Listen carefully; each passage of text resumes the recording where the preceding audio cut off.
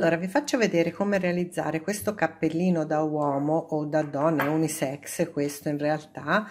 Eh, io l'ho pensato per un set da uomo, però ovviamente questo non ha nessun... Eh, è proprio la classica cuffietta corta, non il cappello quello più lungo, ma questa è proprio una cuffietta che rimane diciamo aderente alla testa e fatta in modo veramente molto semplice io l'ho fatta con un bordo a mh, mm, coste 1 a 1, quindi un dritto e un rovescio, e il resto a maglia rasata.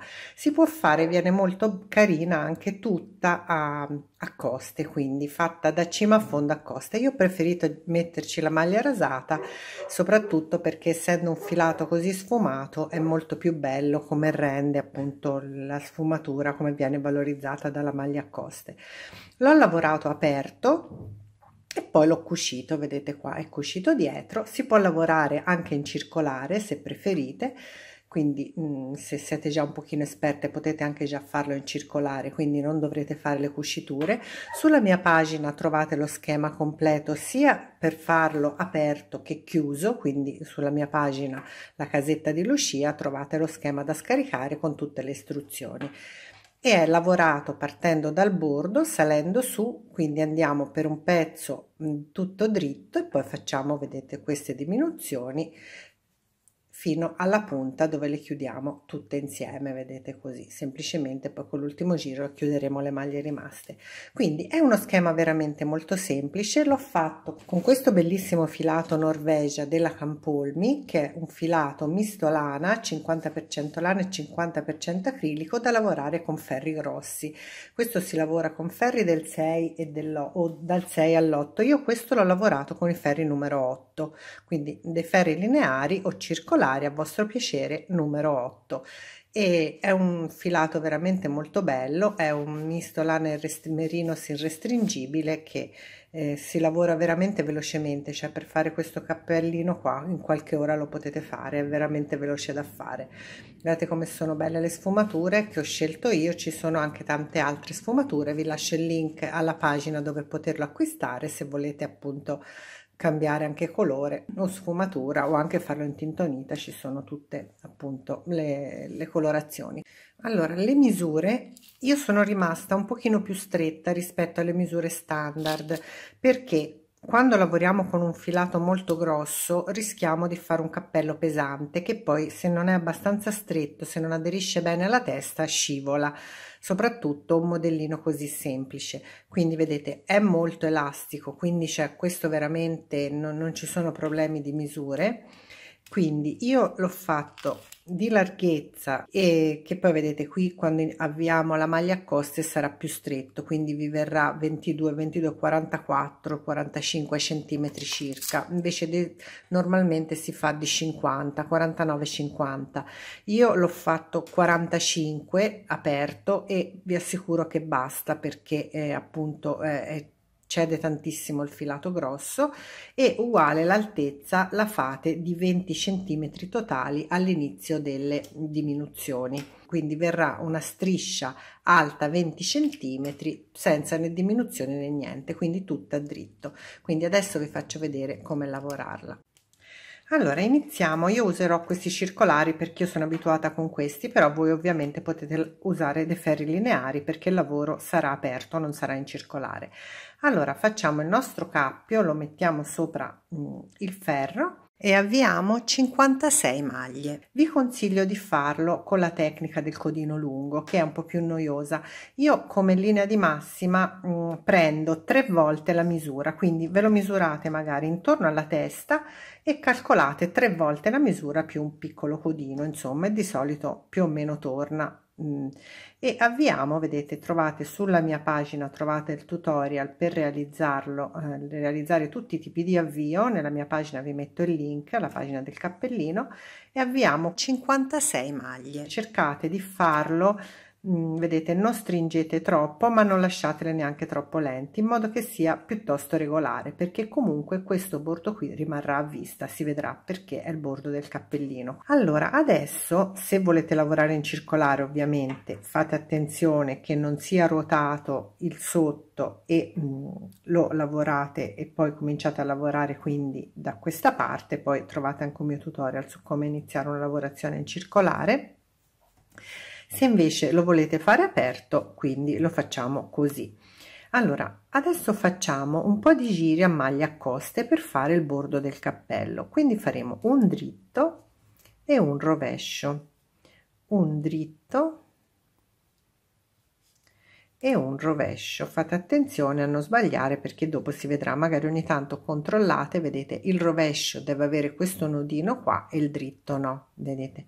Quindi rovescio dritto. Imparate a riconoscere le maglie per tutte le lavorazioni è importante. Quindi questo giro lo faremo tutto. Un dritto e un rovescio fino alla fine eh, numero pari di maglie quindi abbiamo iniziato con un dritto e finiremo con un rovescio. Ecco finito quindi il primo giro. Vedete dovremo avere tutta una serie di maglie rovesci che sono vedete questi col nodino verso di noi poi dopo li vedremo meglio e dritti invece che si presentano così con queste v verso di noi. Vedete rovesci hanno questa maglietta orizzontale ok il giro mh, adesso eh, di ritorno che sarebbe il rovescio del lavoro eh, si lavora come le maglie così come si presentano. E cioè vedete noi abbiamo finito con un rovescio quindi girando il lavoro ovviamente la prima maglia sarà un dritto.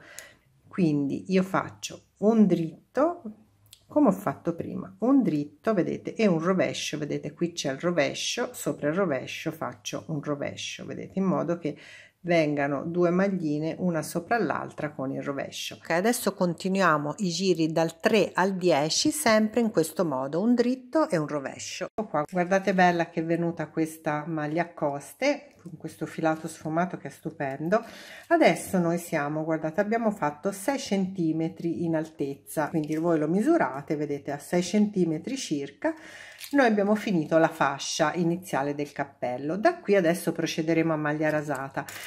Quindi adesso se volete fare maglia rasata semplicemente facciamo un giro tutto a dritto su questo che è il mio dritto del lavoro poi giro il lavoro e su perché fino a questo punto qui non c'è un dritto e un rovescio perché ovviamente la maglia a coste 1 a 1 è uguale entrambi i lati. Quindi adesso uno dei due dei due lati sarà il dritto quello che avete deciso che sia il dritto lo fate tutto a dritto e il rovescio tutto a rovescio in modo che venga la maglia rasata cioè i dritti sul dritto del lavoro e tutti i rovesci sul rovescio.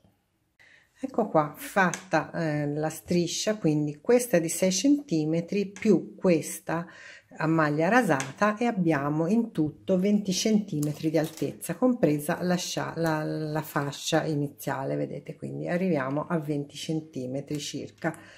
Mm, meglio appena meno che mh, mm, di più insomma 20 centimetri vedete? Deve arrivare circa 20 centimetri.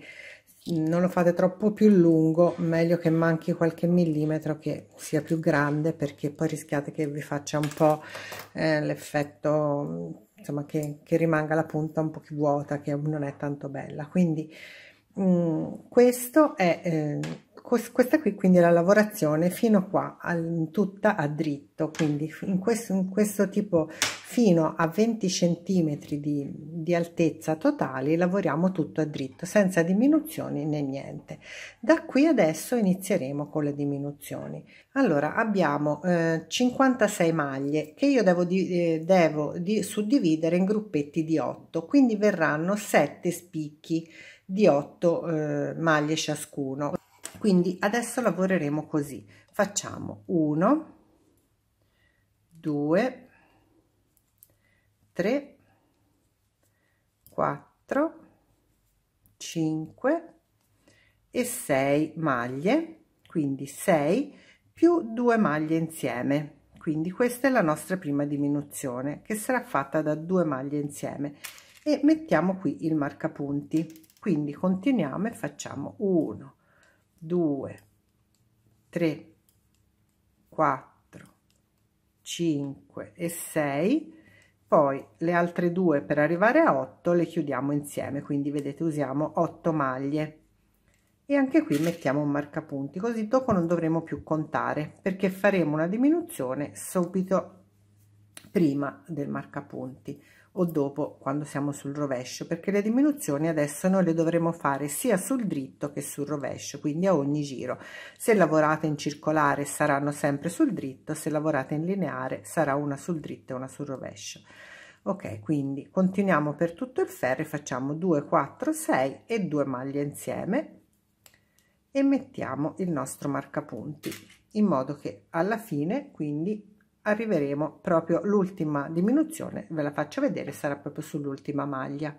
Ecco qua l'ultime maglie io qui adesso ne ho fatte 5 e poi ne ho 3 quindi mi fermo a 3 perché la diminuzione perché l'ultima diminuzione la farò non proprio sull'ultimo in modo che è più semplice poi per cucire il lavoro.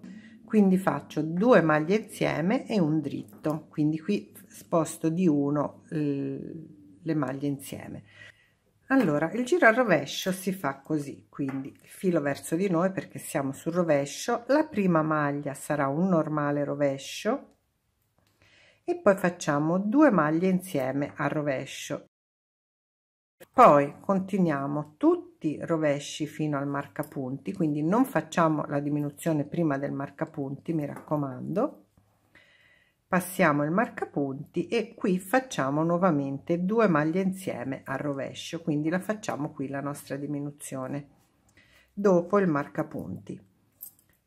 Vedete quindi avremo la nostra diminuzione poi saranno una due tre 4 e 5 rovesci fino al prossimo marcapunti. Ma ripeto non importa contarli li potete contare per controllo ovviamente le due maglie insieme 5 quindi tra i due marcapunti avremo 6 maglie mentre prima appunto avendo fatto la prima diminuzione su 8 ne avevamo 7 perché abbiamo già fatto una diminuzione. Quindi continuiamo così quindi per tutto il ferro a rovescio. Due maglie insieme e tutti i rovesci fino al prossimo marcapunti. Quindi i giri a rovescio si lavoreranno tutti così ok giro numero 3 vi faccio vedere ancora. Facciamo quindi tutti dritti. Ricordatevi di tirare sempre abbastanza bene il primo che questa volta saranno 4 prima appunto erano 6 poi 5 adesso 4 e due maglie insieme prima del marcapunti. In modo da avere vedete gruppetti di 5 maglie quindi continuiamo così per tutto il ferro facendo tutti dritti fino a due maglie dal marcapunti. E le due maglie prima del marcapunti le chiudiamo insieme. Eccoci in fondo al ferro quindi soltanto 3 due maglie insieme e un dritto. Quindi questa è la fine del ferro numero 3 vedete deve venire questa treccina bella ordinata. Ok giro numero 4 sempre allo stesso modo. Quindi prima maglia un rovescio poi due maglie insieme al rovescio quindi iniziamo sempre così il giro. Quindi due maglie insieme al rovescio un rovescio e un altro rovescio. E questo è il primo. Il secondo gruppetto invece da qui ai in avanti tutti i prossimi inizieremo con due maglie insieme al rovescio sempre mi raccomando siamo sul rovescio e due rovesci. Ecco qua. E 3 ecco qua. Adesso abbiamo 4 quindi un due maglie insieme e 3 rovesci. E abbiamo un gruppetto di 4 alla fine del giro numero 4 quindi continuiamo così fino alla fine del giro ecco qua giro numero 5 ma penso che a questo punto abbiate capito benissimo come si lavora quindi due dritti soli e le due maglie prima del marcapunti insieme. Ecco qua quindi questo continuiamo anche per il giro numero 5 a fare in questo modo due dritti e due maglie insieme. E anche questo giro lo finiremo così con un solo dritto due maglie insieme e un altro dritto ecco qua. Ok il rovescio. Vedete qui ora per l'ultima volta faremo un dritto e due maglie insieme perché adesso rimarremo con due sole maglie. Quindi dopo le chiuderemo ovviamente insieme. E poi le due maglie insieme prima del marcapunti e un dritto per il resto del ferro. Quindi adesso rimarremo con due maglie tra ogni marcapunti per scorrere bene il lavoro in modo che non vi si slarghino troppo le maglie. Quindi due maglie insieme e un rovescio due maglie insieme al rovescio più un rovescio fino alla fine del ferro. Ecco qua l'ultimo giro quindi due maglie insieme. Togliamo il marcapunti 2 maglie insieme togliamo il marcapunti. 2 maglie insieme e togliamo tutti i marcapunti fino a rimanere con le sette maglie sul con sette maglie sul ferro che è il numero degli spicchi appunto nei, con, nei quali abbiamo diviso il nostro cappellino la punta del nostro cappellino. Adesso nel video che vedete ne vedrete 8 perché la prima volta ne avevo fatte 8 ne avevo fatte di più di maglie poi l'ho ristretto e l'ho rifatto però ho, ho conservato il video quindi non fate caso se nel video ne vedete 8 voi dovete rimanere con 7 maglie maglie. Ok, adesso chiudiamo tutte le maglie e il fianco del cappellino. Io mh, mm, faccio un altro video apposta in modo che rimanga separato proprio anche per chi ne avesse bisogno per altri modelli di cappellino per farvi vedere come fare a cucire. Quindi nel prossimo video troverete la spiegazione se avete bisogno di aiuto appunto per fare la chiusura invisibile del cappellino.